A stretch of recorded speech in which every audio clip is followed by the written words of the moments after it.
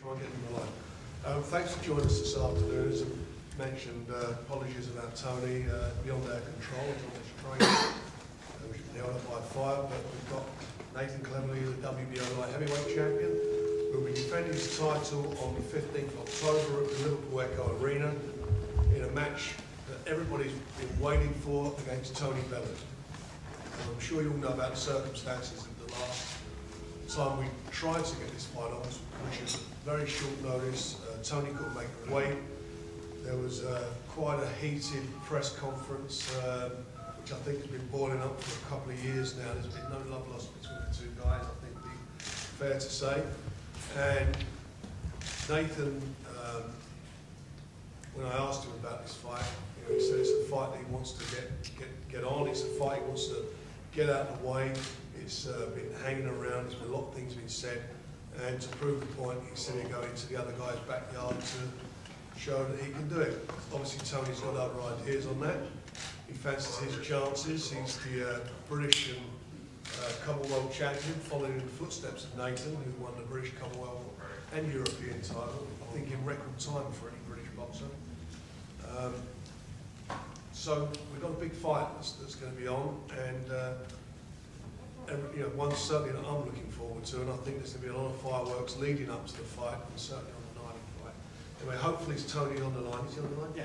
You there, Tony? Oh, that's fine. Good man, right. Um, and stop smoking on those trains in future. Right, everybody's here. If you've got any questions to ask, please feel free to do so. Nathan, can I ask first of all um, why you agreed to go into Japanese backyard to take this fight, given that you're the champion? Um, I don't think it was really much of a, a tough decision, really. Um, I could have, I had the choice really where I wanted to fight. Um, I could have had it in Wales or up in Liverpool. Um, I was struggling to find the, the right venue in Wales, to be honest, with the right capacity for the fight. Um, so at the end of the day, I thought if the fight was in Liverpool, it's going to be a good sell. You know, I thought it was pretty much a guaranteed sellout anyway.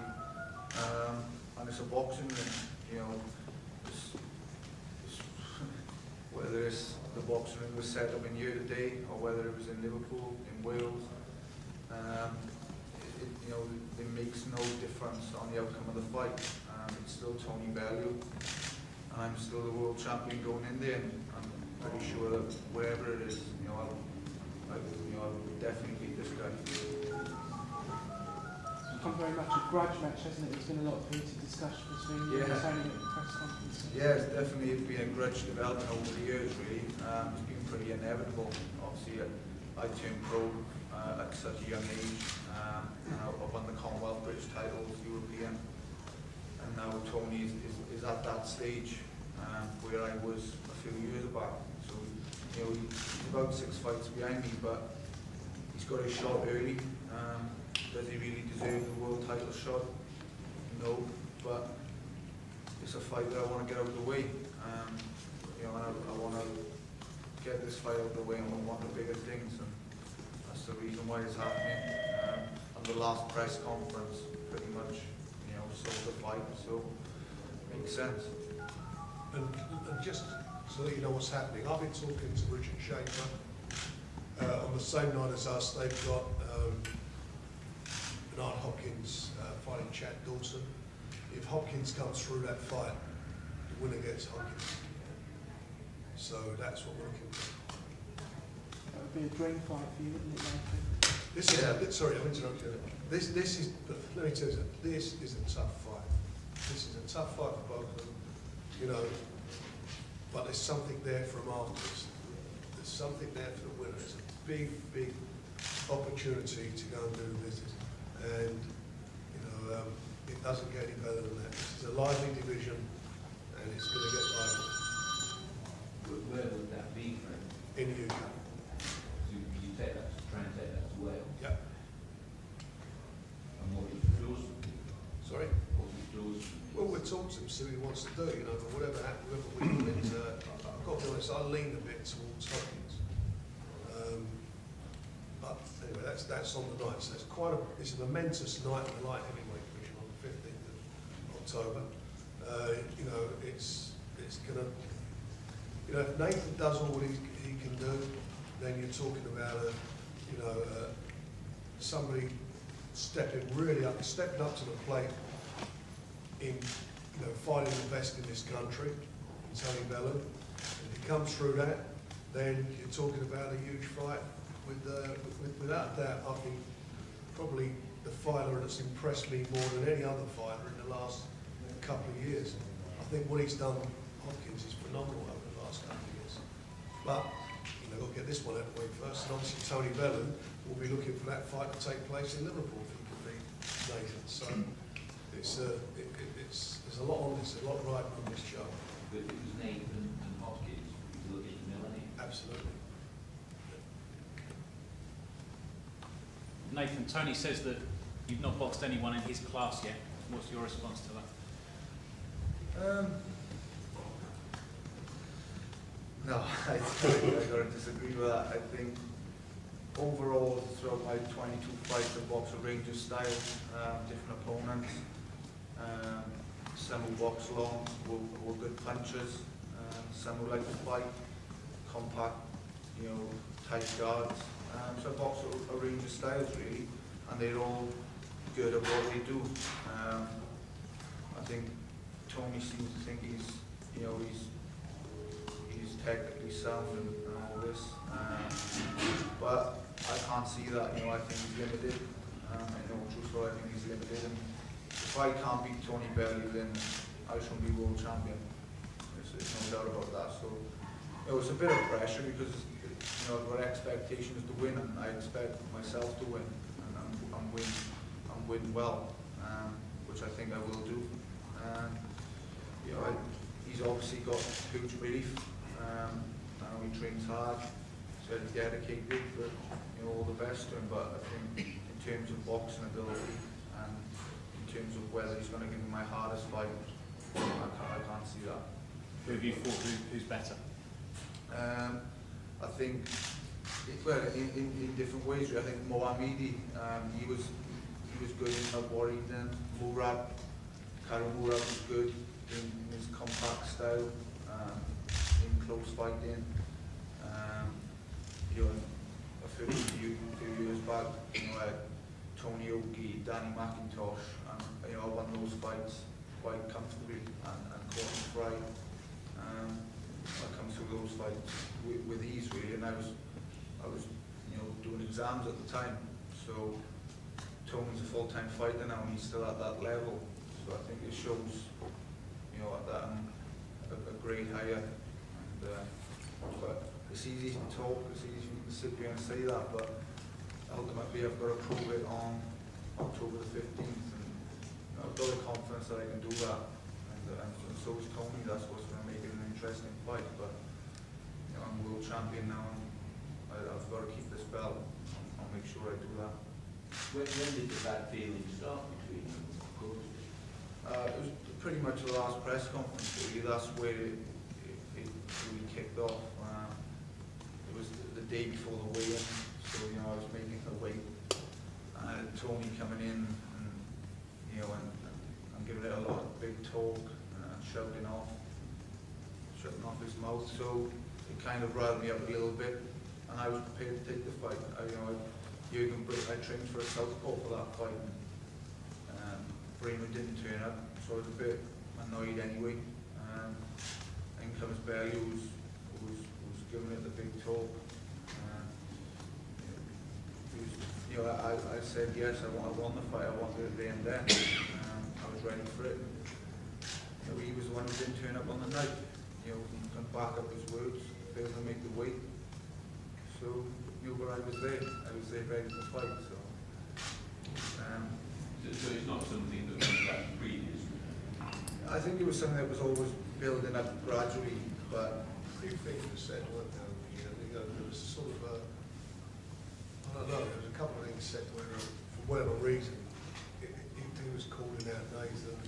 As, as Nathan said, he was, he turned professional much so to a certain extent, he was bit far further forward. Well, then Tony just kept calling you out. yeah, I think uh, ultimately I was at the position what Tony want, what Tony was craving.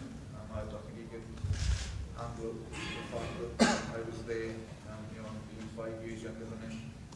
I, I think he, he struggled to, to come to terms with that, but that's, that's the way it was. And, uh, that's the way it's, it's gonna be, really.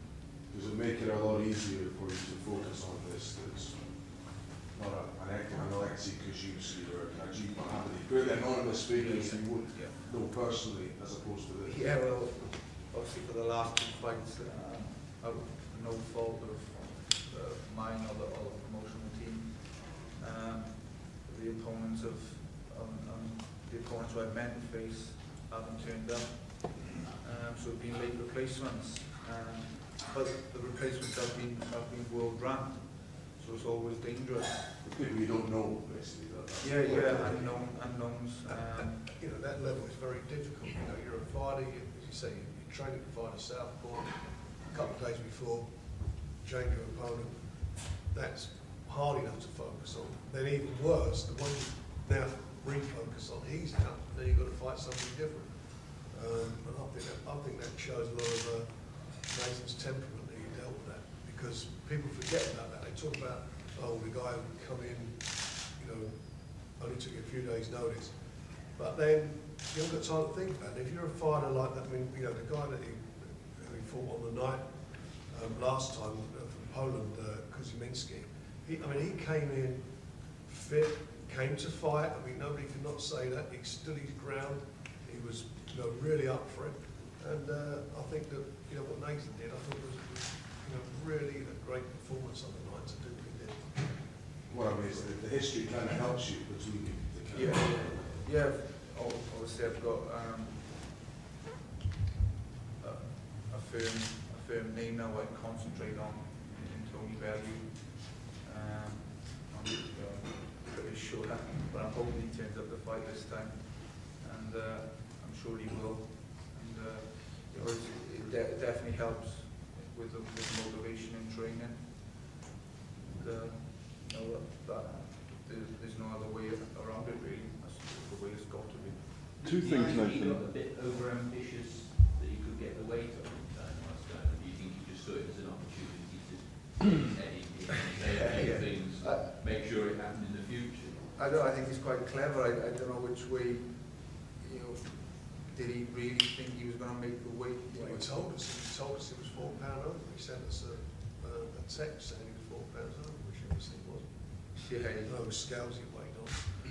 But it's got in the fight eventually, isn't it? Well, yeah, but the fight, I think the fight was always going to happen down, the you know, down the road, and it's happening now because I think, you know, it needs, to it needs to happen. I think it's one of those fights where you, you know, you don't need to lose its momentum, and I think it's, um, you know, for the fight fans, I mean, it's, that's the one they all talk about, isn't it? That's the one they all talk about. So it's on. Nathan, two things. What did you make of Tony Bellew's last performance, where he obviously fought in a very different way to what we've seen in the past? And, and secondly, are you, are you, obviously we know about your temperament and your ability and your skills. Um, s- the second part of this question is, is, is you're still a work in progress in some ways, even though you're world champion. How much further have you got to go in your own ability and, and your own learning and experience? Um, first, I think, you know, the last fight was, was, uh, a little step up for, for Tony, um, in terms of his performance. You know, he showed a little, little discipline, um, come through the fight, you know, he did win quite comfortably, so, you know, can't really take anything away from his performance, you know, he, he done well. Um, you know, whether it's, it was enough to, to, to grant him a world title fight, you know, I'm not so sure, but that's the way it is, that's the fight we want, um, and it's going ahead, so. But in terms of, um, my progress and, and whether there's more to come, I definitely think so. Um, I'm twenty-four now, and every time I step into the gym after each fight, I'm feeling stronger, um, just feeling more mature. And, um, yeah, I, definitely think if I was speaking truthfully, I think, you know, I'm, about four, four years away from my peak yet, so I'm, I'm really proud of my achievements, what I, what I've already got, and I think there's definitely a lot more to come. Will you be sparring with George Groves at all now? He's part of the stable as well.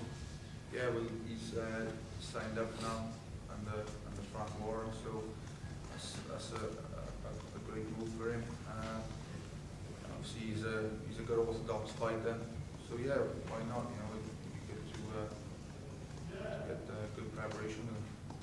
Thank you. How would you, um, you've shown a capacity in recent fights to get in and tear up every fight you haven't really needed to. Against Bellew, that would be probably, looking at the most foolish thing you can do.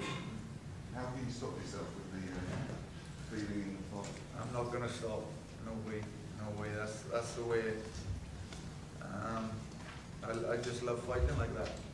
I love getting into tear-ups, um, I know it's, it's, it's quite an exciting sight at times. I know a lot of people enjoy watching me fight. I do take risks, I, I take a lot of risks, um, especially when up against dangerous punchers, which apparently Tony is, but know, we'll soon find out about that, but, uh, I'm unsure about that. But yeah, I'm, I'm still, I'm still prepared to take risks. Um, But at the same time, it's important that I, I got a plan B, which is to, to use my boxing skills and whenever called upon in the fight, I'll always, uh, change my plan. Uh, But either way, you know, it's, I'll adapt to what's needed to win the fight. That's, that's the most important thing, uh, plan A and plan B. Both undefeated fighters as well going into this as well. Yeah, yeah, interesting, you know, that, that always makes the fight interesting, someone, someone's got to lose for the first time in their life. Um, I've, I'm not used to that feeling, obviously, Tony's not, uh, experienced that yet, so, got to, uh, someone's record is got to be, uh, it's got to be ruined in, in the next fight, so, you know, I had the same case with Ricardo Murat two fights ago for the world title eliminator. He was undefeated in 23 fights. But, you know, I love that. You know, I, I I quite I thrive on the, the challenge of that. I think that, uh, you know, Tony Bellew's going to suffer his first defeat. I think he's talked himself into trouble. And I think he's going to regret it afterwards, definitely. How did you lose as an amateur? Um, I only had 36, 36 fights an amateur and I lost uh, three. You lost? When I was six, sixteen years of age in Italy, in a tournament in Italy. Where it was? My last loss. Remember who it was? Um, no, can't remember. You going to be spine into it or? Um, no, I doubt it. I doubt it. It's obviously a bit of uh, media lane now. Um, so, uh, we- I don't need that, don't need him. So it could be another rush match down the line. Yeah, if he earns himself a mandatory position, why not? You know, it'd be, uh, you know, get him out of the way as well, but, you know, he'll have to go earn his shot first. What, what does the prospect of fighting Bernard Hopkins entail? Yeah, that's special, um, because as, as I was growing up, you know, I always, always saw Bernard Hopkins, um, you know, you're on TV and everybody talked about him as a major American boxer, um, you know, he was a real class act. To be in a position now to, to know that I'm possibly one fight away from, from sharing the ring with a legend like Hopkins, um, you know, that's, that would be awesome. It was only around the corner, provided I put on a good show now on October fifteenth, then, you know, that, that's the kind of fight we, we're looking at. I, I would, I would definitely, it's, it's a fight that I would fancy, um, you know, he's, he's an outstanding, outstanding fighter, he's proved that, an absolute legend. Um, I think it's, it's definitely a fight that's winnable. You, you call sport though, and you got a close look at him when you fought in Vegas. Because you, were- you were living in the house with Joe, weren't you? Yeah, yeah. fought there at the time? I mean, how much did you spend looking at, look- time looking at Hopkins that week? Um, well, the, I I saw him on fight night, obviously, from, from ringside. Um, so I fought earlier in the night and later on I relaxed and watched the fight at ringside. And, you know, you, you could see he was class, but you know, we're all human and just another, another fighter. Um, but I think he struggles against a certain style.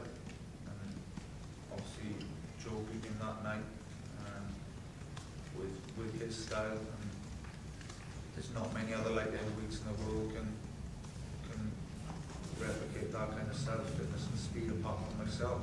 So I think it's a fight that he would really struggle against me. Across a light heavyweight can so that number of punches over 12 rounds, which, I, which I can. Does it cross your mind that like you could fight Hopkins one night? Did you think about it? No, no, not really. I, I thought he would have been uh, probably retired by then. But he's, he's, he's still going. He's such, a- you know, such a strong character. Um, unbelievable, really. And he seems to be getting better, in all fairness. Every, every performance I've seen of him recently seems to be getting better. So, uh, it was, uh, he's just a, a genius at what he does. Did you think Joe had pretty much seen him off that night? You think that was, uh, after Joe beat him, it was possibly the end for him, considering his age? Yeah, yeah, possibly so. Thought, you know, We nearly stopped it. That referee, if you think about the fight, the referee was about the eighth round, the ninth round. He kept complaining, complaining about a low blow that wasn't. And the referee stopped Joe, and I think at that time, I think he was looking a bit shaky. He'd come back and, uh, you know, what he is is a phenomenal athlete. That's what he is.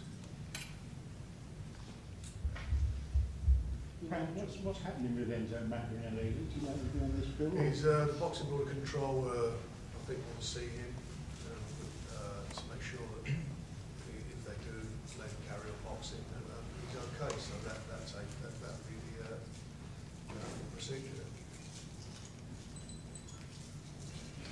Can I just talk a bit more about um, following the footsteps of Joe? Because in a sense, you know, bringing Hopkins, obviously with the Bellew fight preceding this, um, you know, bringing Hopkins to Cardiff and almost finishing the job that Joe started on him. Is, is that in your mind at all? Um, not really. I think it's, it's just a fight that, uh, you know, it's, it's not really planned that way. Um, I'm planning to, to emulate um, of, of what Joe has um, started really, but it's just a matter of, taking the best fight out of the moment for myself, and which would be a great fight for Millennium Stadium in Wales, um, which would be a, a great sell, uh, bring a legend over from America. And just having a, you know, a brilliant boxing event, that's, that's the way I look at it. And, um, I think it, it'd be a, a great fight, you know, Hopkins being the legend and myself being the, the young, uh, world champion coming soon. So I just think it's a, it'd be a, a great match, it'd be interesting. Um, it's- it'd be, a- it'd be a good fight. But when you were busy before, Frank, If we could do that, we'd do it, uh, early in the new year. like before the, you know, the stadium used to be changed. But the, the other thing is, is that, um, you know, you're going to talk about emulating Joe. If you look at the age and the records, Mm. Nathan's in front of Joe. You know, He's won a world title at the age of twenty-four. I think Joe, 26. I don't know what Joe his title. 25. Twenty-five. He's in front anyway. Well, David, to be fair. Well, of course he's got a long race. He had a, he had a long run, but he'll fight more regularly. He'll fight more regular than Joe did, so, you know, if Nathan keeps winning, you're talking about, you know, four defences a year, he's, if he keep going, then he could, he could do that much quicker. Seen a lot of reaction in Wales with your career going on so well. Yeah, yeah, every, every fight is progressing, getting bigger and bigger. I think they're just waiting for that big homecoming, really, on the right fight. I just, just say, I think that would be the, the fight, you know, we're not, I'm not Well, if you amazing, every, every, nearly every major city in the UK has got a, a venue that holds over ten thousand people, except for Cardiff. You go from the ice rink to the Millennium Stadium. How many do you get in Um, I think it's just over ten, I think it's about ten thousand seats. something like that. You hoping to do that? I'd be surprised if we didn't. I mean, it's, uh, you know, as uh, Nathan said, it's, uh, it's just a fight that everybody talks about, I mean, it does sell itself, you know, press conference, the last press conference, uh, so, I mean, that's one thing we're gonna make sure today, they, they would have been sitting like this, it would be either end of the table.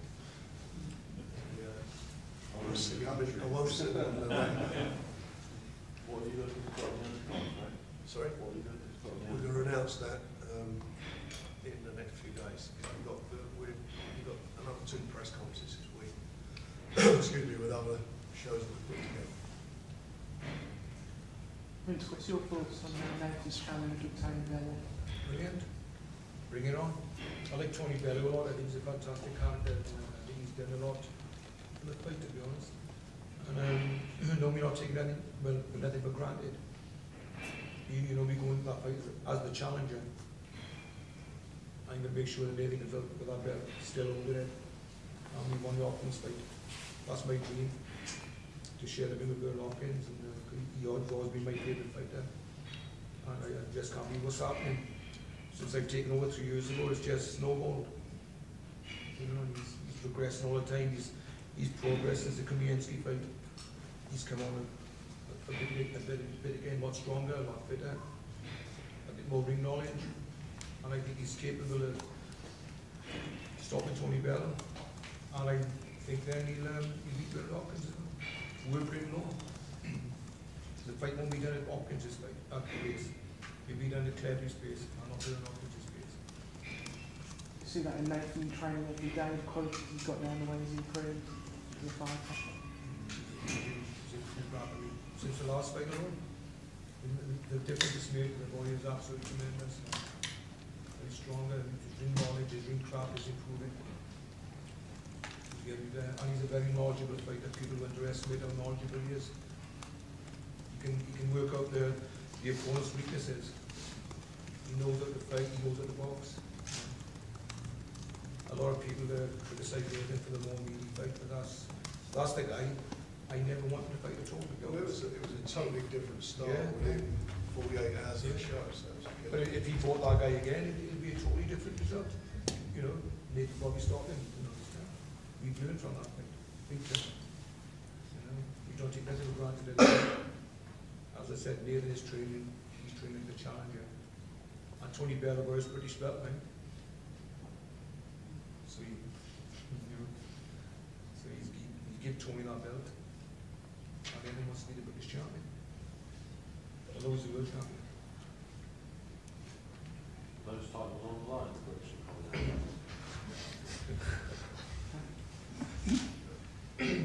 Don't think it do you know where the fight will be shown yet? Is it Sky? Is it? not done any deals at the moment, we're negotiating. And there's, uh, and we've got, we're announcing another world title fight this.